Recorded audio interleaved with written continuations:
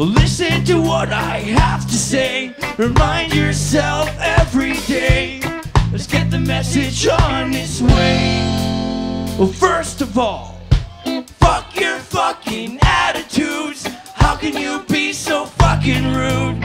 You fucking look at me like when girls are jealous.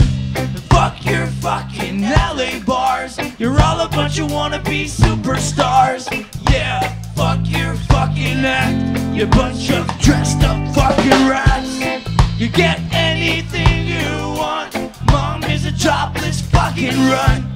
You're fucking lounging in daddy's fucking mansion. And fucking fucking stupid names. Blair and Paris, that's fucking lame. THC does not spell Zach. What the fuck is with all that? You think you're so fucking impressive? Get your name on the fucking guest. Raise your nose to the people in line. And give the doorman a fucking high five.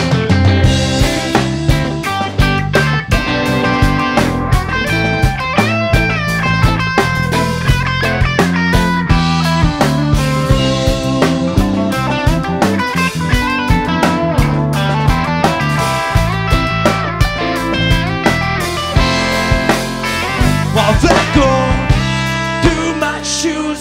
my shirt? Does my shirt clash with my pants?